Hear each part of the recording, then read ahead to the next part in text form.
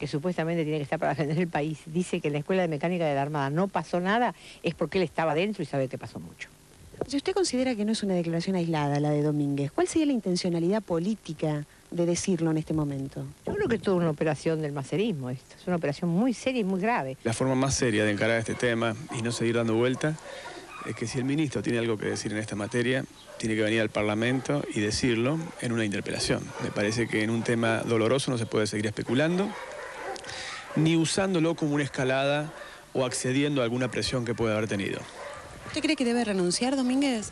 En caso de que lo que dijo no tenga ningún asidero, tiene que renunciar porque es un irresponsable. Si el Ministerio de Defensa no cree eso, seguramente que no cree que San Martín haya cruzado los Andes para liberar Chile y Perú, porque no le consta, a menos que crea lo que es la historia. Que si el ministro realmente ha señalado esto, sus declaraciones son más graves que las de Astiz. Entre otras cosas porque Astiz reconoció que hubo torturas en la ESMA.